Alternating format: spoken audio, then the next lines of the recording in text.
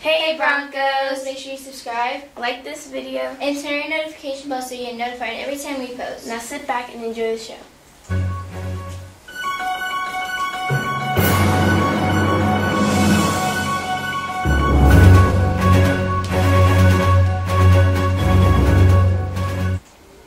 The BMS RISE program will be meeting today from 3.15 to 4.30.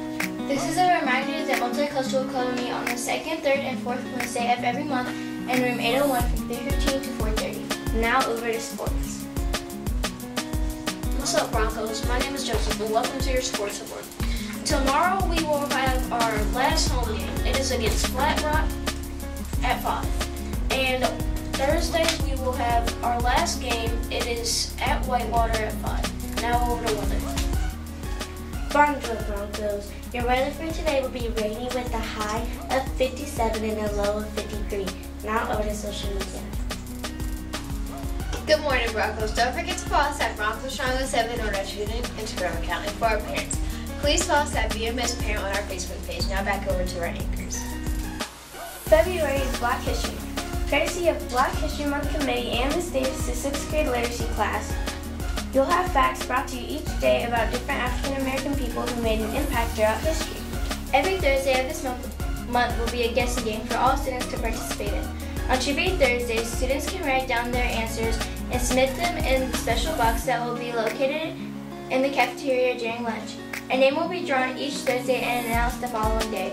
The, the winner will, be, will get a $5, $5 Chick-fil-A gift card. Every Friday of this month will be a dress up day, so stay tuned in for the dress up theme for this week. This week's theme is African American inventors. This Friday you will wear Afrocentric cloth clothing, which means that you can wear kente cloth or African prints of any kind. Today's fact is brought to you by Kaylin Hosmer. Marie Van Brittan Brown was the inventor of the first ever home security system. She filed the invention in 1966. It has affected the way that modern home security is now for the better. Her invention was inspired from the experience she had in her dangerous neighborhood. Police were slow and the crime rates were high.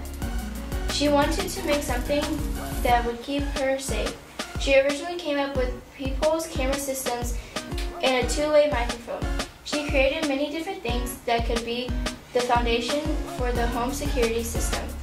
These things included remote-controlled locked doors, instant messaging to police, and more. If Marie hadn't created the home security home security system, would any of us be as, be as safe as we are now? Now over to thought of the day. Good morning, Broncos. Your positive quote for the day would be Success is a journey, not a destination.